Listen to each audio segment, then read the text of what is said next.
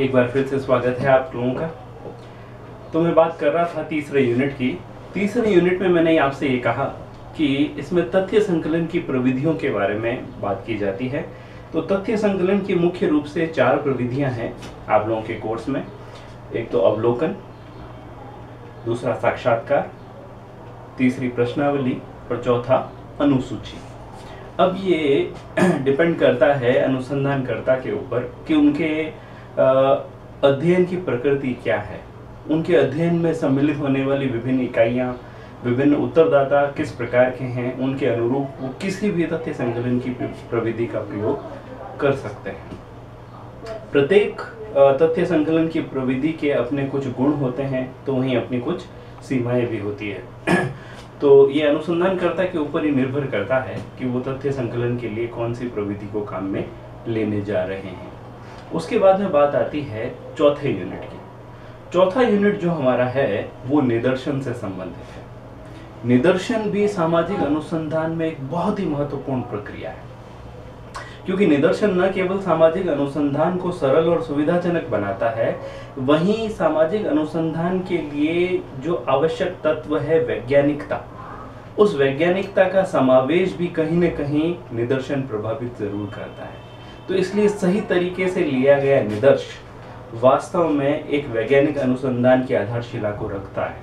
तो निदर्शन भी सामाजिक अनुसंधान में एक विशेष भूमिका रखता है और निदर्शन के भी बहुत सारे प्रकार हो सकते हैं और वो भी सामाजिक अनुसंधान की जो प्रकृति है उसके आधार पर एक रिसर्चर के द्वारा तय किया जाता है। इसके कौन कौन से प्रकार हैं, उनके बारे में भी हम बात करेंगे जब हम इस टॉपिक पर आएँगे। आप लोगों का जो पांचवा या अंतिम यूनिट है इस पेपर का, वो है, उसमें हम समाज सांख्यिकी के बारे में बात करेंगे।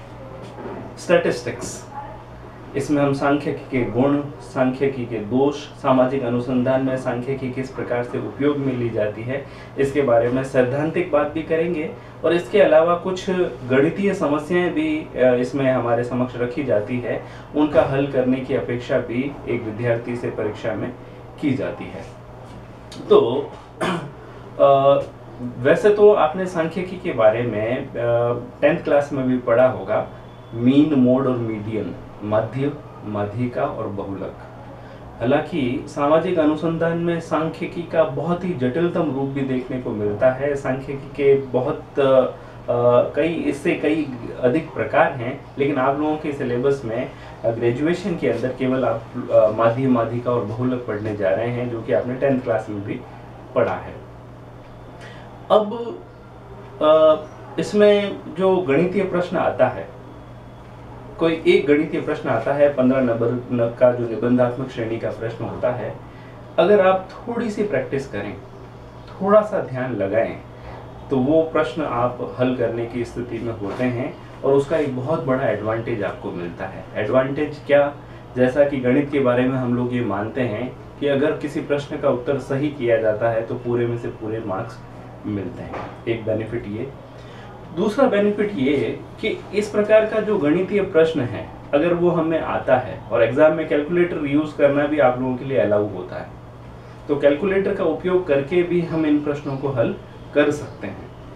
तो अगर हम इन प्रश्नों को हल करें तो ऑब्वियस एक सीधी सी बात है कि इस प्रश्न को हल करने में तुलनात्मक रूप से जो दूसरे निबंधात्मक श्रेणी के प्रश्न हैं, उनकी तुलना में बहुत कम समय लगता है। यानी कि आप आठ से दस मिनट के अंदर एक पंद्रह मार्क्स का निबंधात्मक श्रेणी का प्रश्न हल कर सकते हैं।